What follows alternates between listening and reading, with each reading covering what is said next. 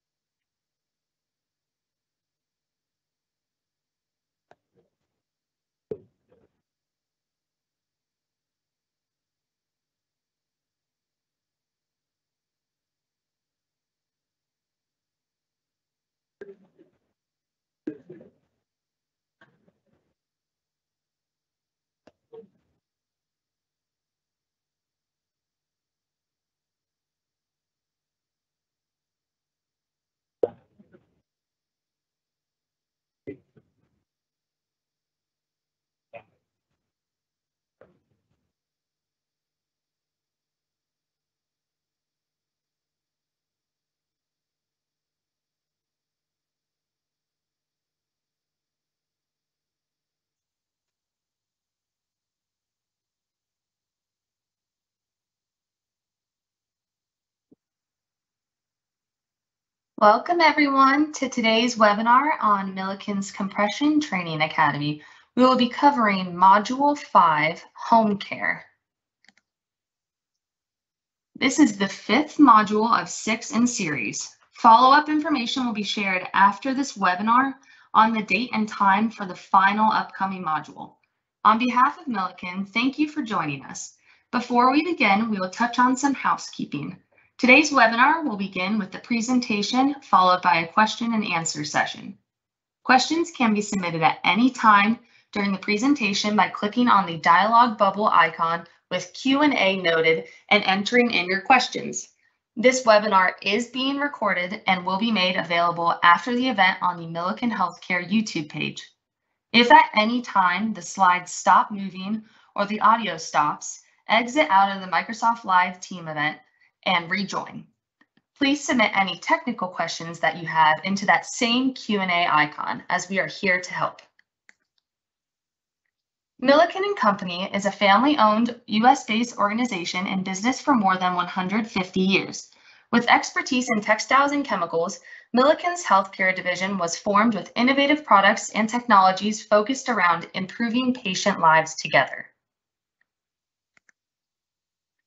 Milliken Healthcare offers a variety of products and technologies, including a compression products range called Coflex TLC. Coflex TLC is offered in two-layer compression kits designed to provide optimal compression. These compression systems come in variations based on the activity level of the patient, as well as the desired compression or pressure range. In addition to Coflex TLC compression, Milliken Healthcare offers advanced wound care products developed with moisture management in mind. These offerings include Tritec wound contact layer dressings, ultra foam dressings, and agile gelable fiber dressings. With that, I'm pleased to welcome today's speaker, Claire Stevens, Milliken's clinical nurse specialist. Thank you, Claire, for being here today, and I will now turn the floor over to you.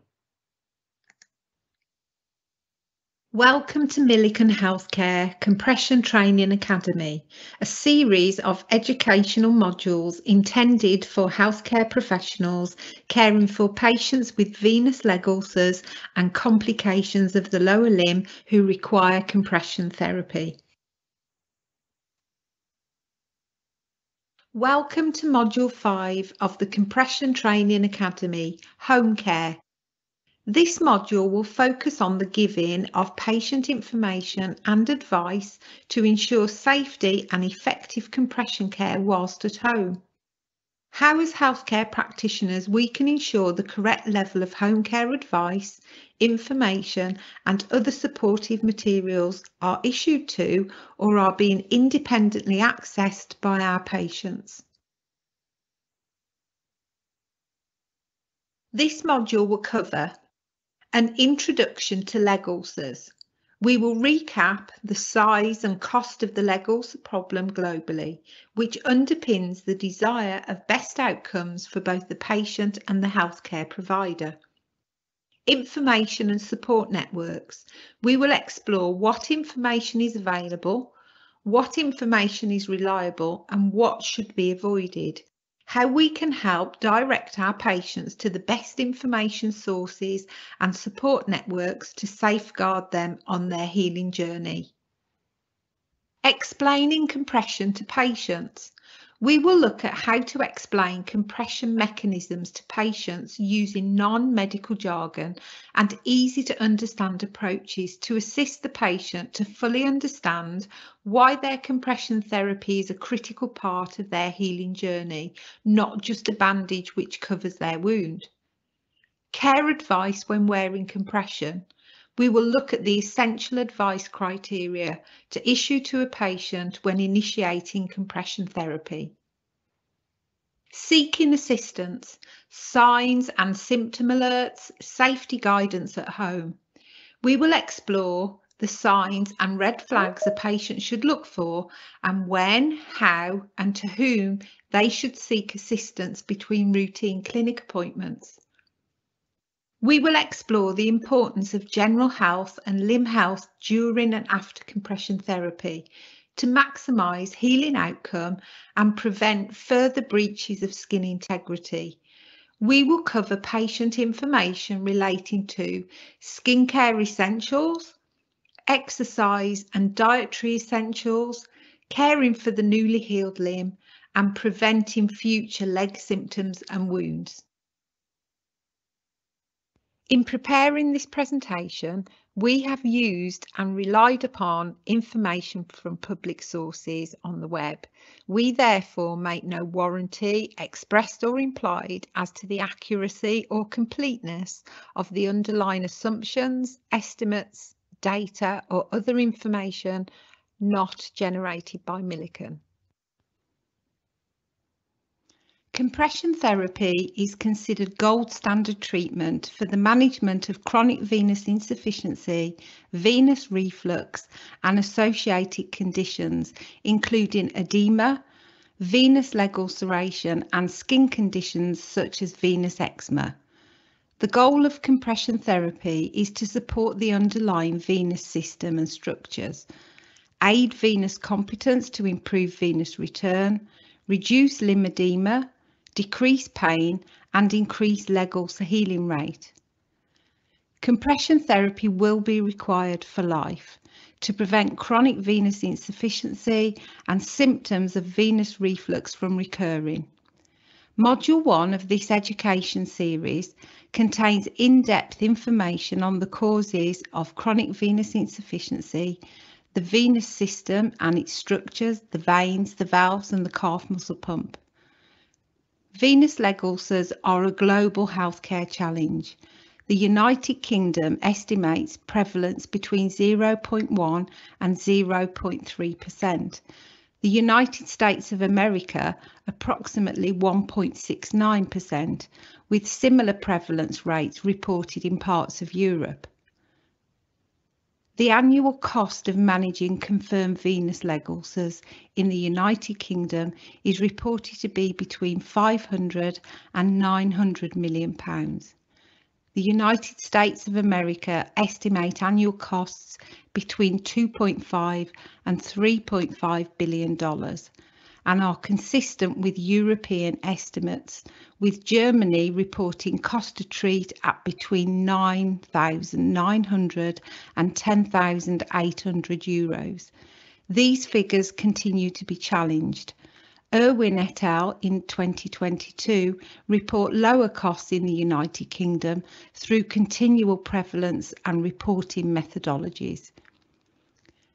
The cost to the individual patient and impact on their quality of life is impossible to measure. Recurrence rates are reported to be between 26 and 69% at 12 months post healing. There are a plethora of evidence-based policies and guidelines available which have been designed to establish a global consensus approach toward leg ulcer management and selection of compression therapy, including the International Advisory Panel for Compression, who published a pathway cited in the European Wound Management Association compression documents.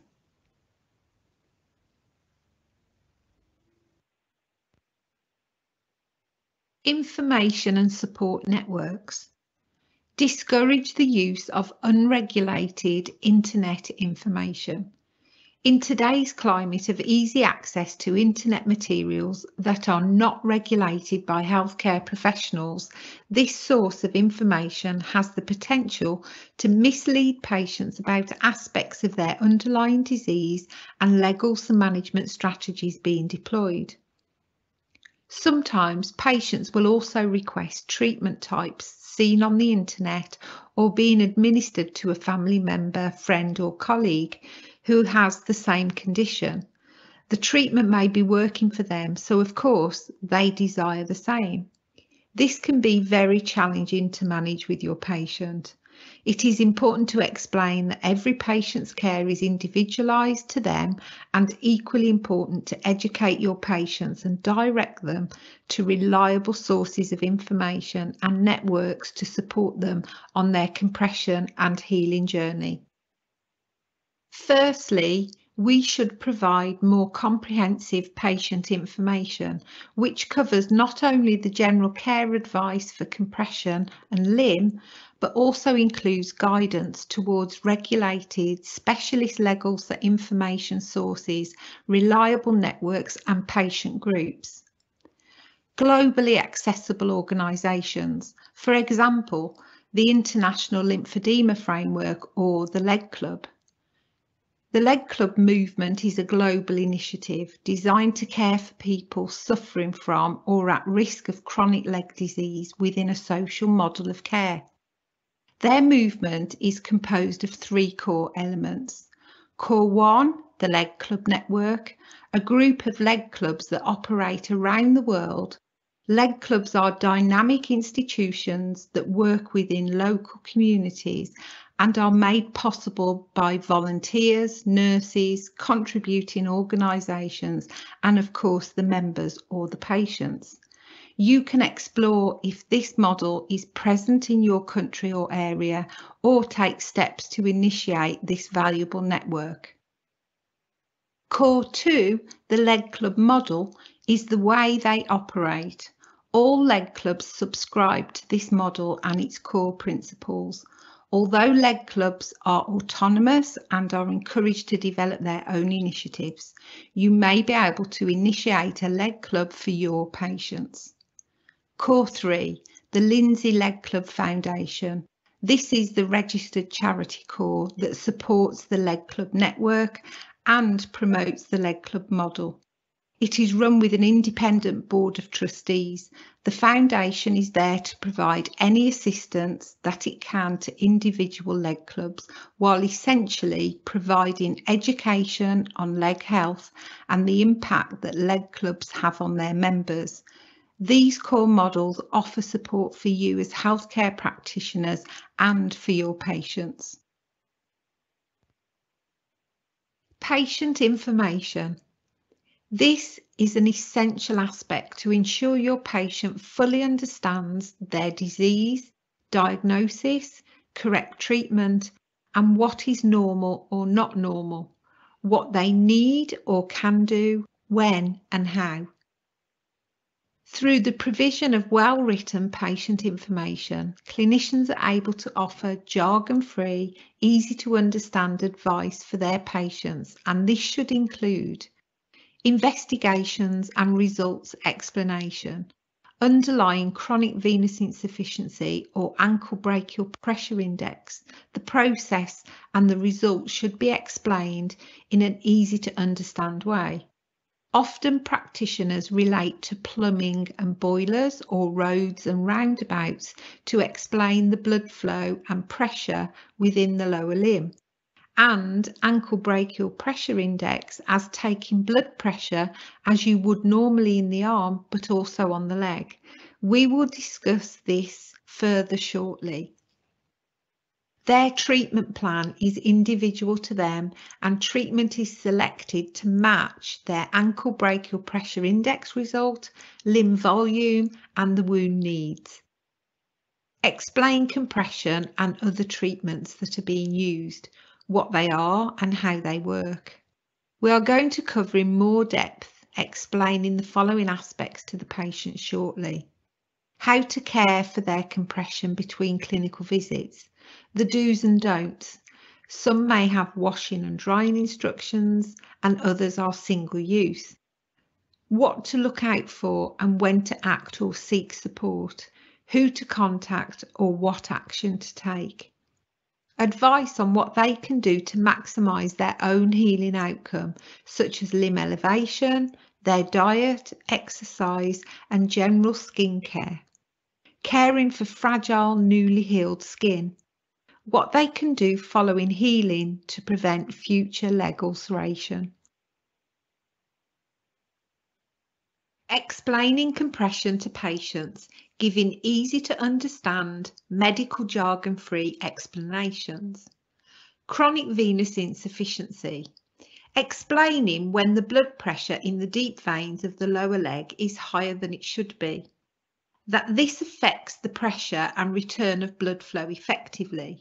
This can be complex and challenging to explain to our patients. One of the easiest ways to explain this is as being similar to a central heating, plumbing and pump system at home, then relating it back to their lower limb plumbing. The blood flow in their lower limb is supported through their veins, valves and calf muscle pump. So how can we explain these structures, their roles and what can go wrong simply to our patients?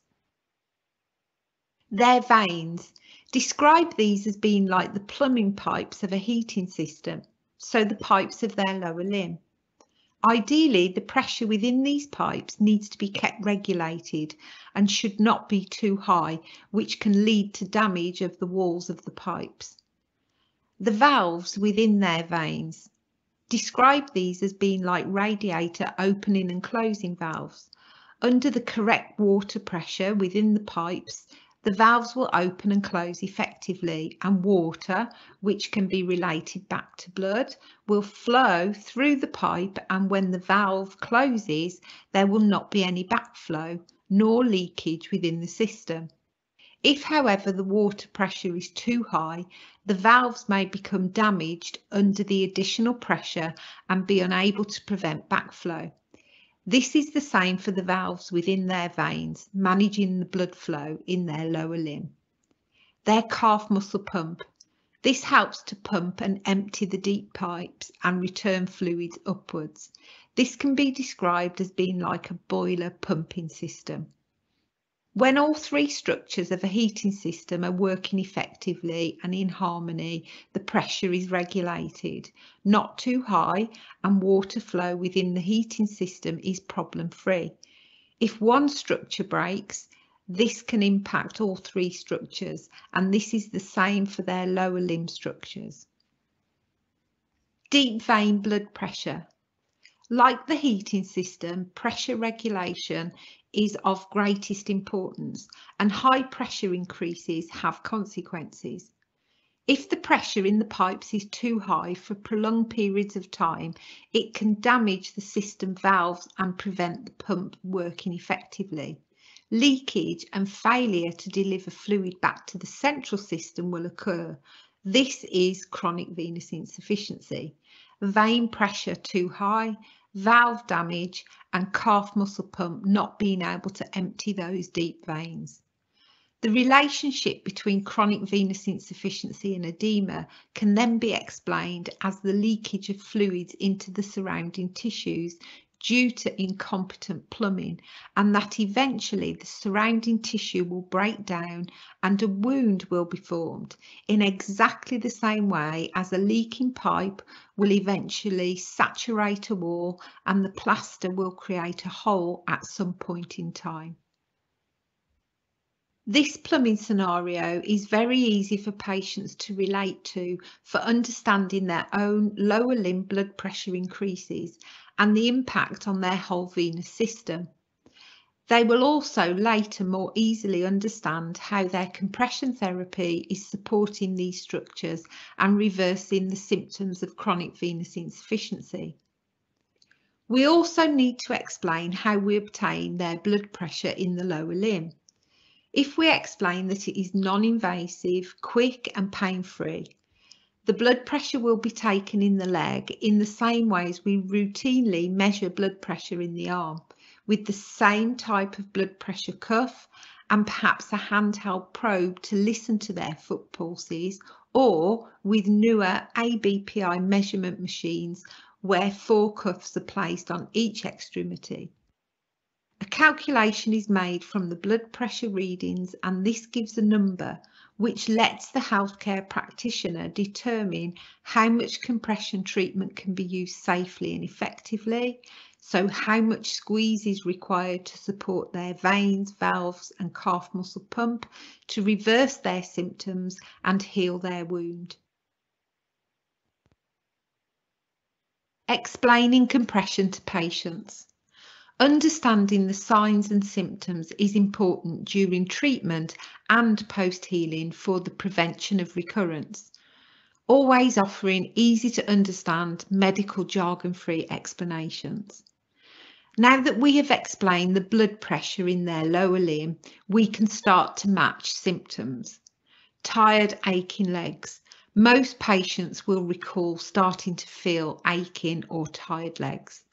This is one of the early signs that there is a problem and a sign that patients should be alerted to recognise and act upon for future prevention of recurrence of symptoms and wounds. New varicose veins.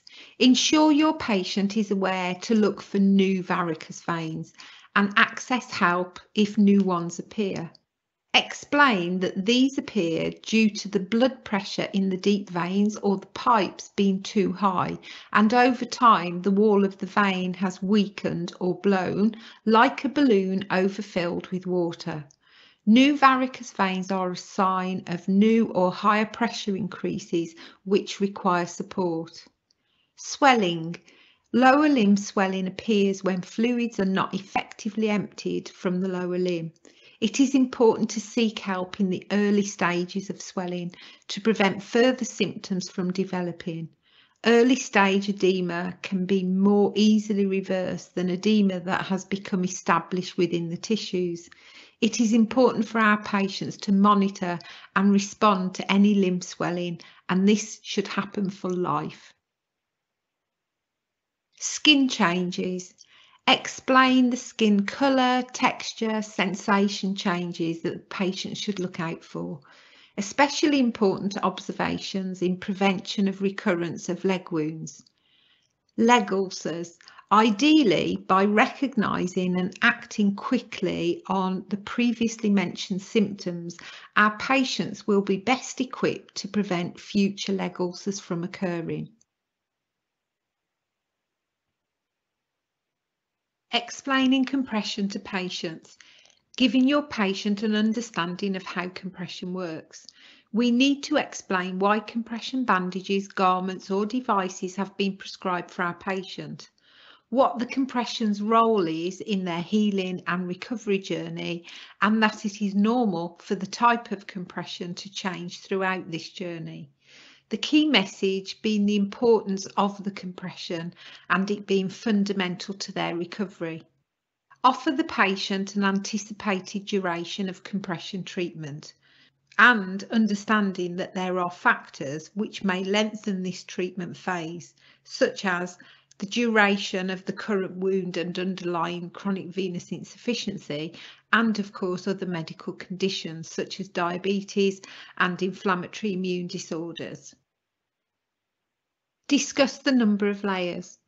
Some patients may have heard horror stories of bulky and soaked bandages which unwind and smell from people who have experienced compression in previous decades. It is important to inform our patients that compression has come a long way and a majority of effective bandage systems are now two layers. They are lightweight, breathable, not restrictive and have been designed with the patient's quality of life at their heart. Explain that we will prescribe the correct level of compression and the best mode of delivery for them as an individual. We are going to explore different modes of delivery shortly. Explain how applied compression will support their venous blood to return to the heart and by doing so relieve the symptoms they are currently experiencing. The compression will form a supportive sleeve around their lower limb, which in turn will support their veins, valves and calf muscle pump through reducing blood pressure in the veins, assisting the emptying and upward flow, reducing swelling, managing current swelling and preventing future fluid leakage into the tissues, preventing valve backflow, the external squeeze from the compression reduces the pressure and strain on the valves, supporting the calf muscle pump. The compression acts as a semi-rigid wall for the calf muscle to work against or work with to maximise the pressure exerted to empty the deep veins and drive venous return. Helps to reduce pain. Some patients' limbs are extremely painful due to the level of edema and inflammation of the tissues or even infected wounds. Some patients resist compression therapy through the fear of increased pain. It is important to have the discussion regarding the effects of compression relieving the swelling and the inflammation and reversing the symptoms that are creating their painful experience. Some practitioners will firstly offer light compression and step up to full compression as a second line once the patient can tolerate. Any wound infection should be managed with antimicrobials first line or if well established systemic antibiotics. A discussion around analgesia is also very important. It is worth asking the patient to take analgesia prior to their clinical visits to ensure their dressing change and compression application is as pain-free as possible. Helps healing of any wounds. The key message regarding the compression component of their treatment is that it is a significant contributor to the healing of their wounds and without compression their wounds will never heal or even get worse. Explaining compression to patients, helping your patient to understand different types of compression. Inform your patient that there are many different types of compression available and they will be prescribed different types throughout their healing journey and beyond. Reinforcing the message that compression therapy is for life to prevent recurrence and the best thing that they can do for themselves is to wear some form of compression for life. Types of compression. Compression stockings. Compression stockings are routinely prescribed to patients to be worn when their compression bandage phase is complete. This is usually a couple of weeks post healing, and this is the compression for life bit, maintaining the newly healed limb and preventing future chronic venous insufficiency symptoms. There are Velcro devices which can be prescribed for certain patients, again, not all. These are often used as a next step following an initial intensive bandaging phase. Dynamic devices. Some patients may be offered the use of dynamic compression devices, particularly those who are working in roles where compression bandages would be hazardous or they are unable to make clinical visits as frequently as required. The device affords convenient treatment schedules where the compression is used. This is also reliant upon the patient using the device as prescribed.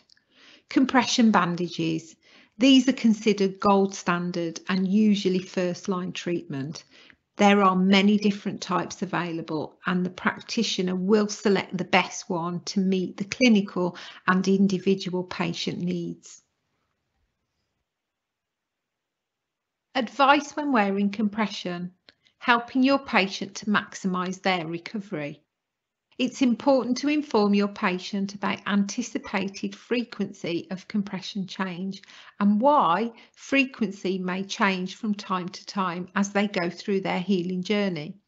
For example, in the first two weeks of compression, change may be higher, two to three times a week whilst the swelling subsides and then change may be reduced to once or twice weekly. Also, if an episode of wound infection occurs, frequency of change may increase until the wound infection is resolved. Potential dressing and bandage leaking during an episode of infection may warrant a full dressing and frequency of change review. There are also some bandages and devices which require daily applications. General care. It's important that the patient knows to keep the compression dry, not to roll the compression at the top or the toe area as they will create high pressure spot and potential for skin damage. Or not to put anything down the bandage or garment to scratch any itchy skin, such as a knitting needle as this will create more wounds. They must report itching and discomfort to practitioners so solutions to these can be found. The patient should be encouraged to exercise their foot and leg and not to stand for long periods of time, but also to walk frequently. This is to maximise the effectiveness of the squeeze and release of the compression against their limb to help empty their deep veins. Patients should also be asked to elevate their limb whenever possible. The higher the leg, the lower the blood pressure will be in their veins. The use of pillows and footstools is also recommended. The patient should not remove their own compression bandages between clinical visits, as this will delay their healing. This is unless a red flag alert is identified, which we will explore shortly.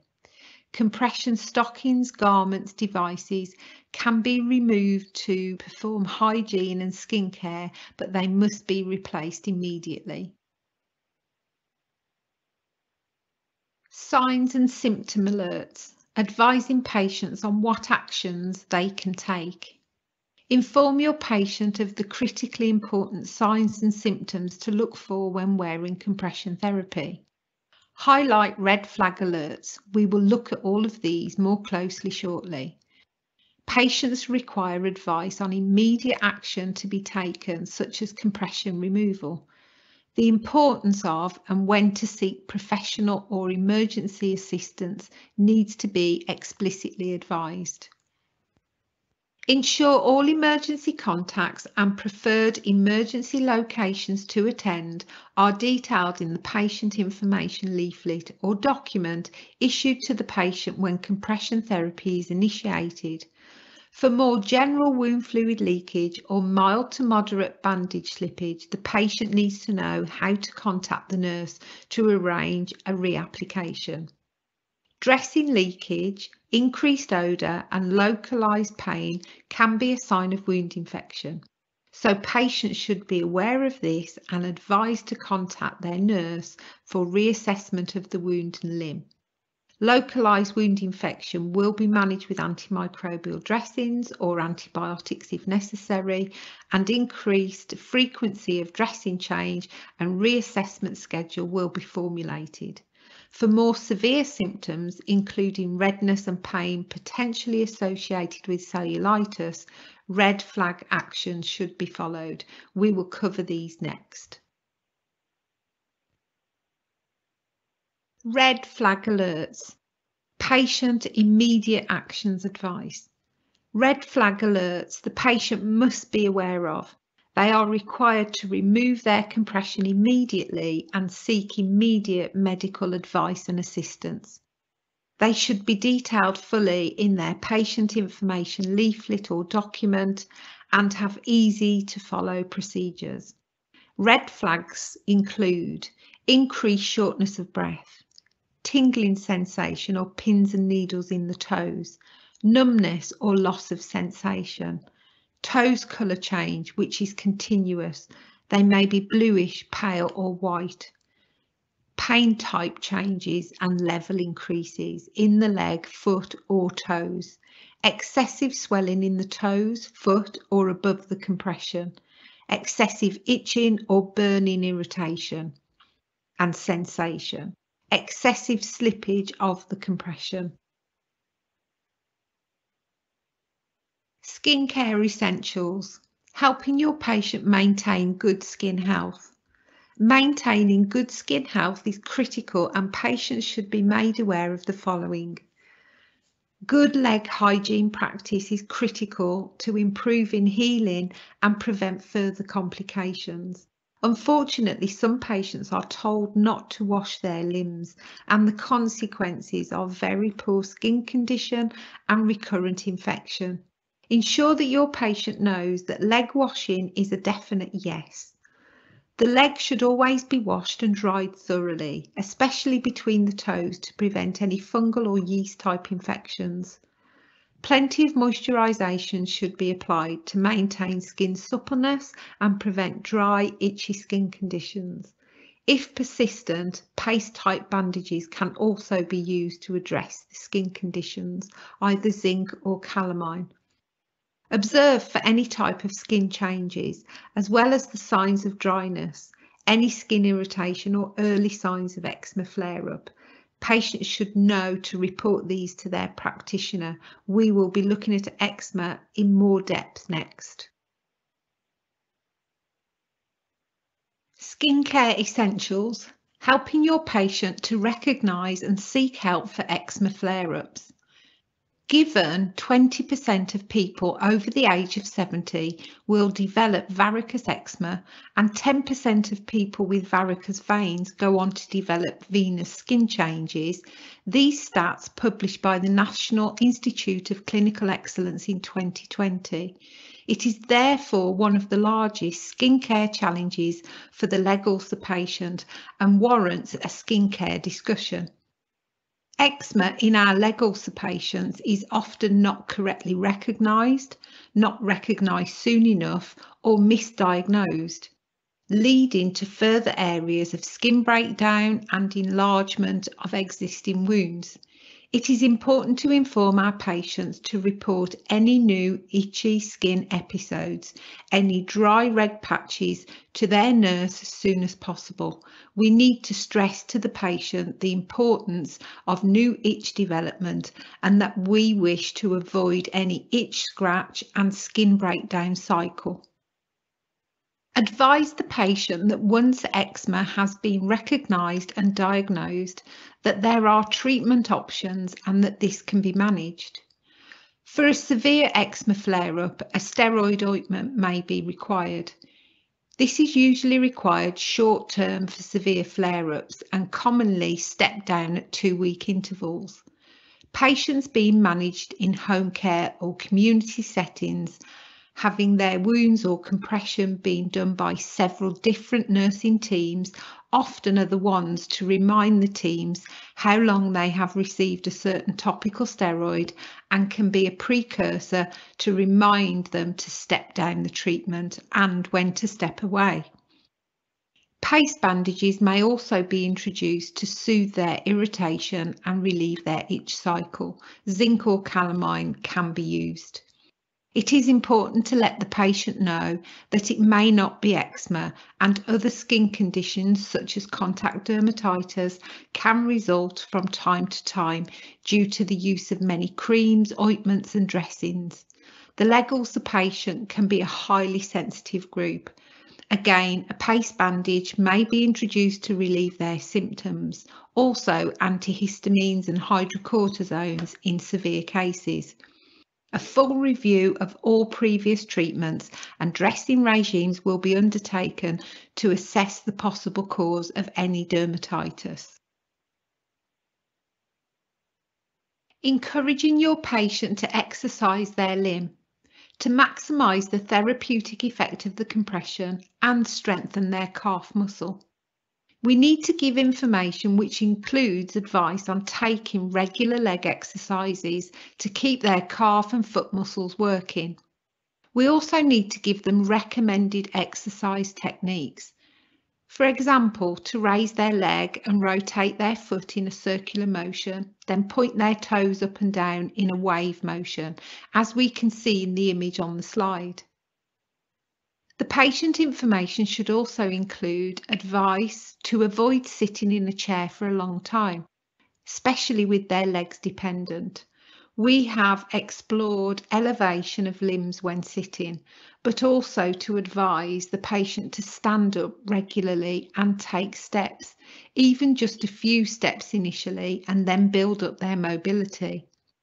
They need to avoid standing still for a long time. They should gently and slowly move on the spot, raising each limb slightly to create a walking on the spot rather than standing still technique. If and when the patient is able to mobilise safely, we encourage them to walk as much as possible and increase the frequency and distance as able to do so. They need to wear suitable footwear, which is not too tight over the bandages to create pressure and potential skin damage, equally to not be too loose that their foot risks sliding out of the shoe and increases their risk of fall injury. They need to avoid exercises which risk knocking their leg, potentially causing additional injury, additional wounds or even disrupting the healing that is currently underway. They need to take their painkillers before exercising so they can maximise their exercise and enjoy the experience rather than suffer and feel it is an endurance. We want these to be positive experiences and goals for our patients. The importance of taking a healthy balanced diet the giving of general dietary and lifestyle advice to patients to aid their wound healing journey. Healthy eating is as critical for wound healing as stopping smoking. We advise our patients to address both. If a patient is struggling to stop smoking, we should be assisting them and directing them towards smoking cessation services available in their locality. We will also offer advice on weight and diet. We ask our patients to weigh themselves regularly and aim for their ideal weight as agreed with the practitioner. This may have to be in a series of small goals and steps to achieve an overall larger goal. Patients should also be informed to let their practitioner know of any sudden increases or decreases in their weight. Too much weight loss is as important and additional food supplementation may be required. Ensure the patient is aware that their increased weight will put additional pressure on the leg veins, so by reducing their weight, they are supporting their own venous return. We can make the patient aware that we can support further by involving a dietitian if necessary. We advise the patient to take extra protein, which is required for the repair of their wound tissues. We advise them to eat meat, fish, eggs, cheese, milk, nuts, or pulses. We also advise the patient to take vitamins and minerals, which are also essential for their cellular functions and renewal. We advise to eat plenty of fresh fruit and vegetables. Advising patients about caring for their newly healed limb. Ensure that your patient is aware of the following. That newly healed wounds are very fragile. They can take several months, sometimes years to mature and strengthen, so may require additional protection. Initially, some patients have a protective dressing to wear beneath their compression stocking and they avoid any trauma to the newly healed area that they need to have caution when applying their compression garments. Themselves, their relative or carer will be shown how to apply their compression stockings correctly. They may be issued with or able to purchase a device to assist with easy and safe application. It is important that the stocking is applied smoothly and does not cause any trauma to the newly healed area during application we need to be aware of fingernail trauma on application. They need to moisturise their limb regularly to keep suppleness in the skin and prevent breakage. They need to look after their new scar tissue and moisturise it and gently massage. It's good practice to observe their leg regularly and thoroughly when washing and moisturising and if they do notice any changes they are to report them as soon as possible to their practitioner.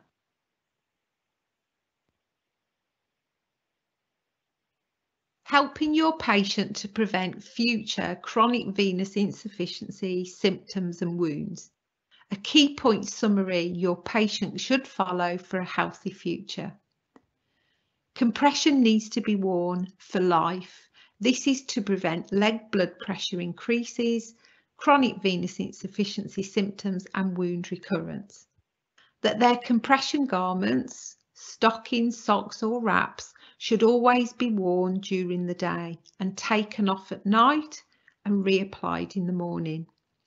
Compression garments, stockings, socks or wraps should be replaced every four to six months.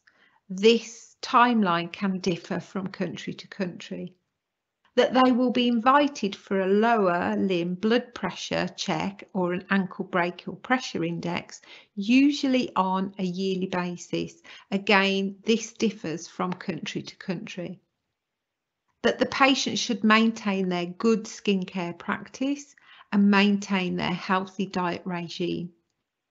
That they continue with their exercises, if possible not to smoke, consume safe alcohol and where possible to refrain from other recreational activities such as substance use.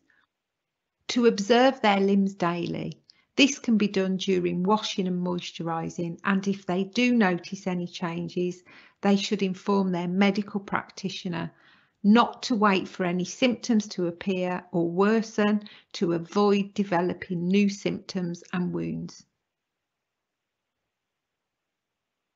Thank you for completing Module 5 Home Care of the Milliken Healthcare Compression Training Academy. There are five additional modules in the Compression Academy series. Module 1, Leg ulcers and conditions affecting the lower limb. This explores lower limb physiology, assessment, investigation and venous leg ulcer differential diagnosis. Module 2, Understanding Compression Therapy, explores how compression works, the theory and science of compression, compression types, characteristics of ideal compression, selection of compression and patient benefits. Module 3, Compression Therapy in Practice, explores and compares various bandage materials, application methods, ease of use, ease of training, patient safety and competency, how to correctly apply, how to achieve and sustain desired levels of compression, this module includes compression, frequently asked questions and a training competency framework example. Module 4, Wound Management Principles with Compression Therapy, explores best practice skincare, wound care, exudate management, infection management and prevention strategies combined with compression therapy. Module 6 provides clinical evidence summaries to support your compression practice and how to set up and run a clinical evaluation with data template example. Thank you, Claire, for another great presentation. Attendees, we will now begin today's question and answer session. Milliken's clinical nurse specialists Gwen McComey and Susan DeBack are here with us to answer your questions. We have about 14 minutes remaining with this live event. You can submit any questions you have by clicking the Q&A dialog bubble icon within the Microsoft Teams console and type them in. All right, Gwen and Susan, looks like we've got a few questions that are coming through. In simple terms, and Gwen, I will pitch this to you. In simple terms, how do you explain to your home health patient how compression treatment works? Thank you, Naomi. It is very important, excuse me, to keep it simple for patients' understanding and compliance. I would tell them that compression treatment will reduce the blood pressure in their lower limb, which will assist in decreasing the swelling. By, by uh, decreasing the swelling, the pain will also decrease and the wounds will also get smaller. Then I would tell them that once wounds are healed, compression therapy will assist in preventing reoccurrence. Thank you, Gwen. Susan, I've got a question for you coming through. How can we educate our home health patients to maximize their healing outcomes? Well, Naomi, as Claire stated in the webinar, um, the most important factors for patients to consider are probably diet, exercise, and general skincare. Um, you should really educate your patients on a high protein, low sodium diet, as Claire um, spoke about, um, for wound healing and then edema control. Um, for exercise, even simple leg lifts while lying down are beneficial, as well as trying to walk every hour. I try to tell patients to kind of just, you know, set a timer, even um, just simple things, just being aware of activating that calf muscle pump. For skincare, as Claire said, make sure you clean the skin thoroughly, um, really get between those toes and moisturize, moisturize to prevent or alleviate any dry skin. Thank you, Susan. Gwen, I've got a question that I'll bounce over to you coming through. What are red flags for patients to immediately call their home health clinician and to remove their entire compression wrap? Yeah, this is a very important question, and it is extremely important for patients to understand these red flags.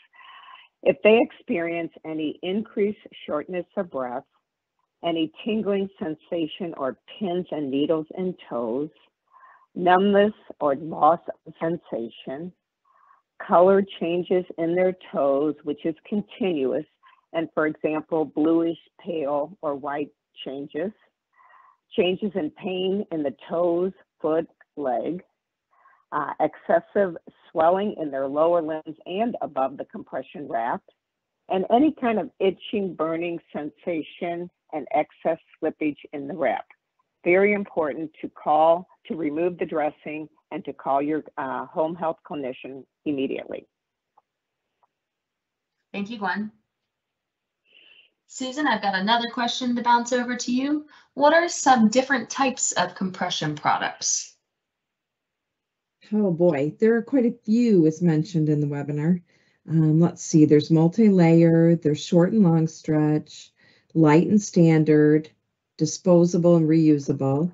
There's stockings, compression devices, and then intermittent pneumatic compression devices.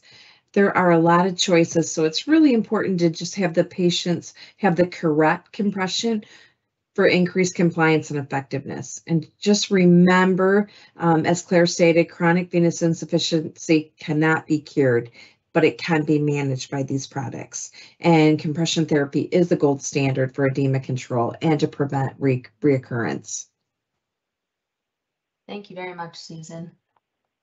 And if anyone else has further questions, please utilize the Q&A dialog bubble that's at the top of the Microsoft Teams console. We're here to answer your questions. We have a few more minutes remaining in the live webinar, so please feel free to pass them through. We will also be sending up a follow-up email regarding information to sign up for the final of the sixth module in series for this Compression Training Academy, along with some contact information that is also captured on this slide in case any of you attendees come up with any questions, thoughts, or concerns that you have, please utilize those links that are provided.